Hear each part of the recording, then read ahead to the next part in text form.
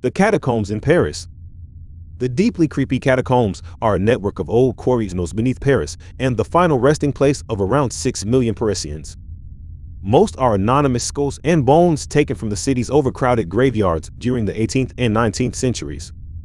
It wasn't until the authorities realized its potential as a tourist attraction that the bones were arranged in the macabre displays seen today. It's a sure contender for one of the strangest places in the world.